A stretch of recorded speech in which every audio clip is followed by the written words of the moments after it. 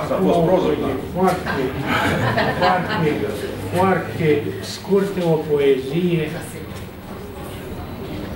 pertinentă momentului care se numește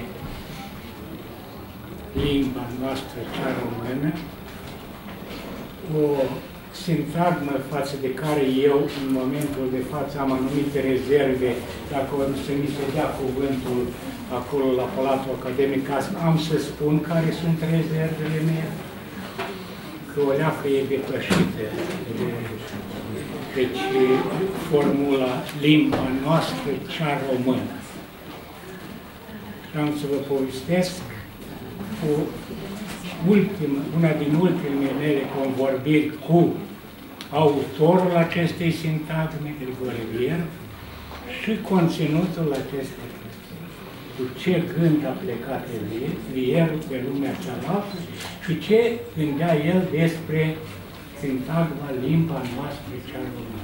Și am să propun alte sintagme, dar o leacă răbdare. Și acum poezia intitulată Grav. Cere, cere un mic comentariu cuvântul grav. Grav este cupa din care la cina cea de taină a băut Iisus Hristos și au băut cei 12 învățăcei ai săi, apostolii. Eu am dat cuvântul grav cu o altă semnificație, cum a observat domnul profesor, domnul profesor Popescu. Chiar dumnealui spune că o, o semnificație surprinzătoare pare necesară. Consacrat, consacrat scrisului prin legământ și o viață menit să mă îngâne, mă împărtășesc din potirul sfânt al limbii materne române. În irui viază în veci Dumnezeu și ghersuia țării flamură, sângei din sângele neamului meu și trup din trupul de lamură,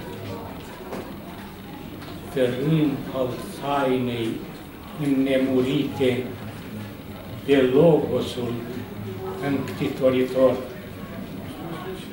Mină de vrăji leit poleite, izvorând din înaltul tabor. Grai minune, germânând prourav, limbă română, veșnic nesecatul meu grav. Mulțumesc! Vreau să cu